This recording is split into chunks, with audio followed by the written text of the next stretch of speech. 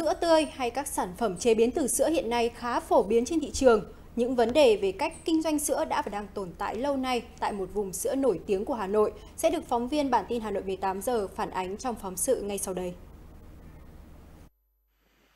Đi dọc các tuyến quốc lộ 21A, 32 hay tuyến tỉnh lộ 87 đoạn thuộc địa phận Hà Nội, người đi đường sẽ có cảm giác đang lạc giữa rừng biển hiệu mang tên sữa ất thảo. Điều này khiến không ít người cảm thấy hoang mang, không biết đâu là cửa hàng chính hãng. Chọn vào cửa hàng nào chỉ là cảm tính, còn hàng mua về có đúng nhãn quảng cáo lại là chuyện khác. Mình đi chơi thì tiền ở đâu thì mình vào đấy thôi, bởi vì là dọc đường này bao nhiêu quán này, thì chả biết quán nào lại quán nào cả, cứ vào thôi chứ không ấy. Thì vào thì người ta đưa sữa nào thì mình ăn sữa đấy thôi. Vừa rồi thì tôi vào cửa hàng à, thì uh, mua sữa, thì tôi vào cửa hàng ất thảo nhưng mà họ đưa cho tôi là sữa chua lớp cẩm và vi. Nhưng mà thực ra là tôi cũng chẳng quan tâm đến cái cái công ty hay là của cửa hàng nào, ất thảo hay là bà vi. Tôi thích thì tôi mua thôi. Cửa hàng này trưng biển quảng cáo là vậy, nhưng tất cả các sản phẩm bán ra thì đều không giống biển bảng quảng cáo. Ngay các sản phẩm, vỏ hộp hay các vỏ thùng hàng trưng bày để giới thiệu sản phẩm đều là các nhãn hàng hoàn toàn khác. Có bắt ờ, bản quyền đâu? À. Nếu bắt bản quyền thì tốt quá, bản quyền thì tôi bán hãng nào là đó một hãng là tôi ngày xưa là một hãng này bà mà đóng ở đây cách ít nhất phải 500 mét. Bây giờ nó nó cứ giáo loạn đi thì Vâng, việc quảng cáo nhãn hàng một kiểu nhưng sản phẩm bán ra lại mang thương hiệu khác diễn ra khá phổ biến đối với các cửa hàng bán sữa, mặt hàng mà hiện đang là đặc sản của huyện Ba Vì. Điều này không chỉ ảnh hưởng tới quyền lợi người tiêu dùng mà ảnh hưởng tới cả những doanh nghiệp. Đang nói đây là vấn đề tồn tại khá lâu thời gian qua, nhưng thực tế các cơ quan, đơn vị quản lý thì vẫn chưa quan tâm vào cuộc. Toàn địa bàn huyện Ba Vì và thị xã Sơn Tây có hơn 10 doanh nghiệp cơ sở sản xuất buôn bán sữa tươi và các sản phẩm từ sữa. Ất Thảo là một thương hiệu trong số đó. Dù đã được bảo hộ thương hiệu, song trong số trên 40 cửa hàng trưng thương hiệu này để quảng cáo bán hàng thì chỉ hơn 1 phần 3 trong số đó là đại lý chính thức hoặc nhập hàng từ cơ sở về bán. Chính quy của chúng tôi uh, do cơ sở chúng tôi đứng thì chỉ có tầm 6 đến 7 cửa hàng là chính thức. Còn lại thì là có tầm khoảng độ 10 đại lý lấy hàng của chúng tôi.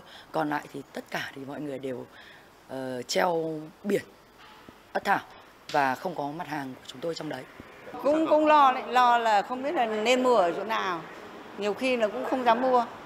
Về Hà Nội mua. Giữa hàng loạt cửa hàng bày bán sữa cùng chung biển quảng cáo, ngay cả đơn vị cung ứng còn phải ra soát địa chỉ lấy hàng của mình, thì người tiêu dùng quá khó để phân biệt và nhận biết đâu là cửa hàng bán đúng sản phẩm quảng bá. Điều này đồng nghĩa nếu sản phẩm hư hỏng, không đảm bảo chất lượng hay an toàn vệ sinh thực phẩm, thì ai sẽ bảo vệ người tiêu dùng? Trao đổi với lãnh đạo đội quản lý thị trường số 18, phụ trách địa bàn huyện Ba Vì và thị xã Sơn Tây, đại diện đơn vị cho rằng đây là vi phạm về lĩnh vực quảng cáo do hàng bán ra khác với quảng cáo, chứ chưa có phản ánh về chất lượng, nguồn gốc sản phẩm, hàng giả, hàng nhái. Tuy nhiên, đơn vị này còn có trách nhiệm trong việc bảo vệ nhãn hàng đã bảo hộ thương hiệu. Có trách nhiệm, thế nhưng mà bây giờ người ta phải có kiến nghị thì mình mới có đơn mình mới mới xử lý được. Người ta mà không có đơn thì mình cũng không xử lý được. Còn nếu như những cái mặt hàng nhãn hiệu nổi tiếng ấy, ví dụ như Adidas rồi Nike rồi các thứ thì nó là nhãn hiệu nổi tiếng rồi thì các cơ quan mà bảo vệ thì cũng tiến hành uh, kiểm tra và xử lý được. Đợt tới chúng tôi cũng đi ra soát những cái nào có ẩn tải, những cái nào chưa phải có ẩn tải để chúng tôi quản lý về mặt chất lượng và theo những cái quy định nào của nhà nước mà không cho dùng thương hiệu đó thì chúng tôi sẽ phối hợp cùng ẩn tải và các cái cơ quan chuyên môn và các cái địa phương trên địa bàn của huyện thì chúng tôi sẽ xử lý các cái đơn vị làm hàng nhái. Sữa tươi hay các sản phẩm từ sữa là đặc sản của huyện Ba Vì. Để đảm bảo quyền lợi người tiêu dùng cũng như đơn vị cung ứng hàng hóa ra thị trường, việc quản lý khâu kinh doanh quảng cáo là cần thiết. Bởi nếu không sẽ dẫn tới tình trạng loạn quảng cáo, loạn nhãn hàng và loạn sản phẩm. Người tiêu dùng cũng khó phân biệt để mua các sản phẩm chính hãng, đảm bảo chất lượng đúng mong muốn. Công an quận Hoàn Kiếm phối hợp với phòng cảnh sát điều tra tội phạm về ma túy công an thành phố Hà Nội vừa triển khai lực lượng bất ngờ đột kích kiểm tra quán bar Heyo Club tại số 57 cửa Nam. Thời điểm kiểm tra, lực lượng chức năng phát hiện hàng chục thanh niên nam nữ đang có hành vi sử dụng ma túy. Lực lượng chức năng đã đưa 38 đối tượng trong đó có 32 khách và 6 nhân viên của quán về trụ sở để đấu tranh làm rõ. Qua test nhanh, 23 trên 38 đối tượng dương tính với ma túy. Căn cứ tài liệu, chứng cứ thu thập được, cơ quan cảnh sát điều tra công an quận Hoàn Kiếm đã ra lệnh bắt khẩn cấp đối với Nguyễn Thị Thảo Nguyên, sinh năm 2001, trú tại xóm Nội, xã Mao Điền, huyện Thuận Thành, tỉnh Bắc Ninh về hành vi tàng trữ trái phép chất ma túy. Tại hiện trường, lực lượng công an đã thu giữ 3 viên và hai mảnh viên ma túy loại thuốc lắc, hai túi ni lông chứa ma túy dạng ketamin và nhiều đồ vật, dụng cụ có liên quan đến việc sử dụng trái phép chất ma túy. Hiện vụ việc đang tiếp tục được điều tra mở rộng.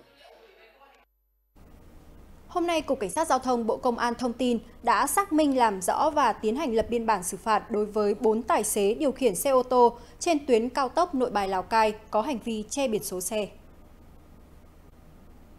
Cục Cảnh sát Giao thông đã phối hợp với Công an thị xã Đông Triều, tỉnh Quảng Ninh xác định được chủ sở hữu, người điều khiển các phương tiện vi phạm. Cụ thể, lái xe điều khiển 4 xe ô tô mang biển kiểm soát 14A51298, 14A50952, 14A43115, 14C23585 đã sử dụng băng dính đen hô biến, cố tình làm mờ hoặc che biển số nhằm tránh các camera soi biển số phạt nguội. Trước đó vào chiều ngày 16 tháng 9, qua phản ánh của người dân, Phòng Cảnh sát Giao thông Công an thành phố Hà Nội đã triệu tập lái xe taxi biển kiểm soát 30E80500 tới trụ sở làm việc để làm rõ hành vi tự ý thay đổi biển kiểm soát, tránh sự giám sát của cơ quan chức năng. Cục Cảnh sát Giao thông cho biết, sau khi được tuyên truyền, những lái xe vi phạm đều thừa nhận do thiếu hiểu biết pháp luật, muốn tránh né phạt nguội nên đã cố tình làm sai. Tất cả những trường hợp vi phạm đều bị xử phạt hành chính số tiền 5 triệu đồng và tước giấy phép lái xe 2 năm theo luật định. Dùng bút xóa băng dính làm biến dạng chữ số trên biển số hay dùng biển số giả. Đây là những chiêu trò thường được một số tài xế sử dụng nhằm tránh né camera phạt nguội. Những hành vi cố tình này đã gây nhiều khó khăn cho lực lượng chức năng trong quá trình phát hiện và xử lý vi phạm. Không ít các chủ xe đã rơi vào tình huống giờ khóc giờ cười khi phương tiện bỗng dưng bị xử phạt. Trong thời gian tới, lực lượng cảnh sát giao thông toàn quốc sẽ tăng cường giả soát, kiểm tra, xử lý các trường hợp vi phạm liên quan sử dụng biển số xe lưu thông trên tuyến. Sau 2 năm ảnh hưởng bởi dịch Covid-19, triển lãm Tỏa 4, cuộc đối thoại nghệ thuật đặc biệt của Trung tâm Nghệ thuật Đương đại Vincom VCCA đã chính thức trở lại với công chúng. Triển lãm quy tụ gần 40 tác phẩm nghệ thuật từ hơn 20 nghệ sĩ trong nước và quốc tế với chủ đề Phương thức đối thoại với thiên nhiên do hai nhà nghiên cứu nghệ thuật Abijan Toto và Đỗ Tường Linh đồng giám tuyển. Triển lãm tỏa 4 mở ra cho ý tưởng của các nghệ sĩ, các nhà nghiên cứu trong việc thiết lập lại suy nghĩ về mối quan hệ giữa đời sống thiên nhiên và thế giới con người. Mỗi tác phẩm thể hiện cuộc đối thoại với thiên nhiên. Nhà nghiên cứu nghệ sĩ Pujita Guha đưa ra một loạt hình ảnh về những khu rừng cà phê ở phía Bắc Thái Lan. Ở một góc nhìn khác, nghệ sĩ Oanh Phi Phi đặt lại khái niệm thời gian thông qua hình ảnh bể cá phản chiếu sử dụng chất liệu sơn mài với chất liệu lá khô và họa tiết thêu, nghệ sĩ Trần Thảo Miên đã gợi nhắc cho chúng ta rằng sau cùng thiên nhiên vẫn là nơi lưu giữ ký ức của vạn vật. Triển lãm khởi đầu từ lịch sử hệ sinh thái tự nhiên trong và ngoài khu vực Đông Nam Á, đồng thời đưa ra những góc nhìn khác nhau về lịch sử và hiện tại. Chuyển trọng tâm giữa trải nghiệm của con người và môi trường, hướng tới mối quan hệ tương hỗ, chăm sóc, bao bọc lẫn nhau giữa con người và thiên nhiên. Cấu trúc trưng bày triển lãm gồm 4 phần, phần đầu nói trực tiếp đến lịch sử và văn hóa phát triển lâm nghiệp, Phần thứ hai là hoạt động thông qua các mối quan hệ tình cảm giữa con người và thực vật. Phần 3 là các đề xuất cho các mối liên kết tiềm năng chưa được khai thác giữa thực vật và cuộc sống con người. Phần 4 mở ra thế giới tương lai, nơi con người và thiên nhiên hòa quyện vào nhau, tạo thành những hình thức hiện hữu mới các cái kỳ tòa trước thì nó cũng nếu mà các bạn xem thì cũng thấy là nó cũng ờ, có cái ý tưởng là từ cái cây rồi cái mầm rồi các thứ là nó cũng đã liên quan đến cái cây rồi. Tất nhiên là trong văn hóa Việt và trong ngôn ngữ tiếng Việt thì uh, cây cối hoặc là hạt mầm nó cũng ờ, có rất nhiều ẩn dụ về những cái sự nuôi dưỡng rồi thời gian phát triển ấy. Uh, thì trong lần này thì chúng tôi cũng ngoài việc là nối tiếp cái câu chuyện đấy thì chúng tôi cũng muốn uh, có những cái đối thoại lớn hơn và cũng là một cái phản ánh để thấy được các cái nghệ sĩ uh, Việt Nam hoặc các thế giới đang nghĩ gì bởi vì rõ ràng là trong nhất là trong đại dịch Covid thì cái vấn đề về môi trường uh, thiên nhiên các thứ mà khi con người không tác động đến uh, nó đã thay đổi như thế nào hoặc là những cái uh, những cái câu chuyện sâu xa hơn như là về cả việc vaccine ảnh hưởng đến uh, giúp cho con người chữa bệnh nhưng mà có thể là nó ảnh hưởng đến những hệ sinh thái nhất định. Dù sử dụng chất liệu hay phương thức biểu đạt khác nhau, nhưng tiệu chung lại, các tác phẩm tham gia triển lãm đều thể hiện tình yêu thiên nhiên, ý thức trong bảo vệ môi trường của mỗi nghệ sĩ. Triển lãm này nó đặt cái môi trường làm chủ đề chính. À, em nhìn thấy có rất nhiều cây và những cái ờ, chai nước có đựng cây ở trong.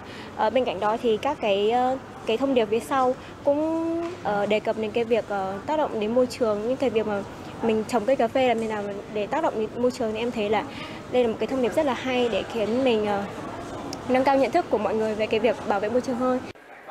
Sau 2 năm bị ảnh hưởng bởi đại dịch Covid-19, triển lãm Tỏa mùa 4 hứa hẹn sẽ mang đến một dư âm nhất định cho người xem. Triển lãm sẽ mở cửa tự do từ nay đến hết ngày 30 tháng 11 năm 2022 tại Trung tâm nghệ thuật đương đại Vincom VCCA, Vincom Megamall Royal City, quận Thanh Xuân, Hà Nội.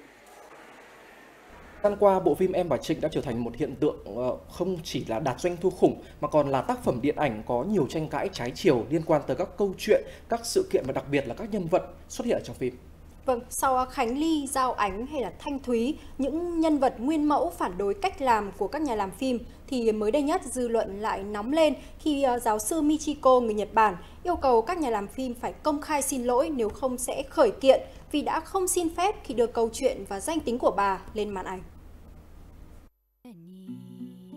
Lý do xảy ra vụ việc là bởi bộ phim Em và Trịnh có đoạn nêu đầy đủ họ tên, đích danh cho bà Michiko Yoshi cùng nhiều thông tin xoay quanh mối quan hệ cá nhân giữa bà và nhạc sĩ Trịnh Công Sơn. Ngày 13 tháng 9, bà Michiko Yoshi có giấy ủy quyền cho ông Trần Văn Soi và luật sư Nguyễn Thị Diễm Phượng liên hệ với nhà sản xuất Galaxy Play và các bên liên quan về sự việc, yêu cầu đơn vị này xin lỗi công khai vì hành vi phổ biến đời sống riêng tư của bà đến công chúng khi chưa xin phép. Đại diện phía giáo sư người Nhật Bản yêu cầu nhà sản xuất phim xin lỗi bằng thông cáo báo chí trong 7 ngày, tính từ ngày ra văn bản ngày 13 tháng 9. Nội dung xin lỗi phải xuất hiện ở phần giới thiệu phim Em và Trịnh mỗi khi tác phẩm được chiếu trước công chúng. Đồng thời nhà sản xuất cam kết không lặp lại sai phạm. Hiện đại diện nhà sản xuất phim Em và Trịnh đã nhận được văn bản từ phía bà Michiko nhưng chưa có phản hồi sự việc. Vụ việc đang được nhiều người quan tâm. Ở khía cạnh mình cảm nhận rằng ấy, để chúng ta đưa uh, một cái nội dung truyền tải tới mà đặc biệt nó là quyền riêng tư của cá nhân ấy, thì chúng ta phải được cái sự đồng ý của những cái nhân vật trong cái câu chuyện chúng ta truyền tải để chúng ta à, làm sao à, có thể à, đưa những cái nội dung nó đúng sự thật. Trước những ý kiến trên, phóng viên Hà Nội 18 giờ đã có cuộc trao đổi với luật sư về vụ việc này. Về mặt pháp luật thì hoàn toàn là anh phải tôn trọng cái đời tư, anh phải có cái trách nhiệm trừ khi được họ đồng ý thì anh mới được đưa lên. Nhưng đây chưa được đồng ý thì anh đã đưa lên rồi. Những các cái tình tiết chi tiết của họ lại được tái hiện lại mà những các cái điều đấy thứ nhất là danh tính thứ hai là những cái chi tiết của cái đời sống riêng tư của họ ở cái thời điểm mà có cái sự tiếp xúc liên quan đến với cố nhạc sĩ Trịnh Công Sơn thì hoàn toàn là họ không có cái mong muốn thế thì vì vậy mà lại chúng ta tự ý đưa lên. Thì rõ ràng là gì? Theo ý chí của ai đó nói rằng là nó không ảnh hưởng nhưng bản thân người ta xác định là ảnh hưởng. Và dù không ảnh hưởng hay không ảnh hưởng thì quy định của pháp luật không cho phép. Thiết nghĩ, điện ảnh, ca nhạc hay hội họa, bất kỳ bộ môn nghệ thuật nào đều rất cần sự sáng tạo, sự phá cách để truyền tải những thông điệp ý nghĩa từ phía người nghệ sĩ đến công chúng. Vụ việc này quả thực là bài học điển hình về ranh giới giữa sự thật và sáng tạo, giữa phim tài liệu và phim nghệ thuật, giữa thái độ ứng xử của nhà sản xuất và các nhân chứng, nhân vật có thật.